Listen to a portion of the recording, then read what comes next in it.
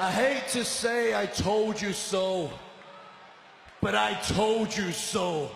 We didn't just beat the Shield last week, we broke the Shield.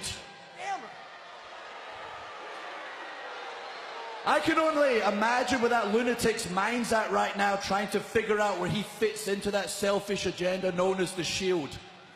That's right.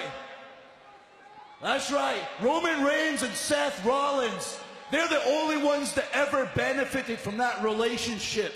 They had no use for Dean. We have been telling you the truth for weeks now.